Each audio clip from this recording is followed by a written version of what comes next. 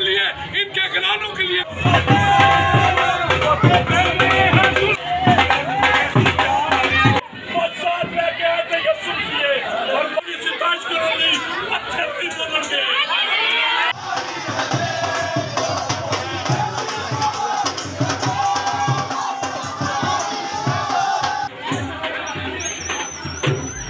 भर की तरह शेखपुरा में भी पाम संडे खजूरों का एतवार मजहबी अकीदत और एहतराम के साथ मनाया जा रहा है। इस दिन तमाम मसीही बरदरी अपने घरों और इबादत गाहों को खजूरों के पत्ते और टहनियों से सजाते हैं और मजहबी रसूमात अदा करते हैं।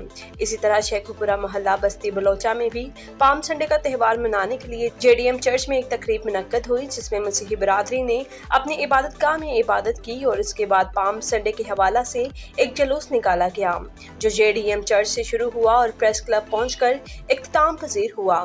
जुलूस में बच्चों, बड़ों, बुज़ुर्गों और खातन ने अपने हाथों में खजूर की टहनियाँ उठाकर और गीत गाकर भरपूर शिरकत की। मसीही बरदरी इस त्यौहार को खुशी के तौर पर मनाती है।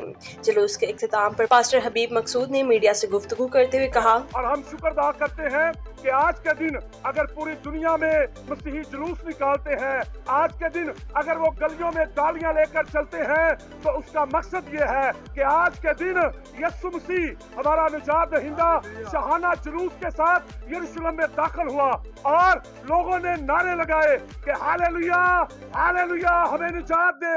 होशना होशना, इब्ने दाऊद मुबारक है वो जो खुदावंत के नाम पर आता है। और हम शुक्र अदा करते हैं कि वो जो जिक्रिया नबी की नबूत थी हमारे यसु में पूरी हुई। और आज के दिन यरूशलेम के अंदर हमारे मसीहा शाहाना जुलूस के साथ दाखिल हुए।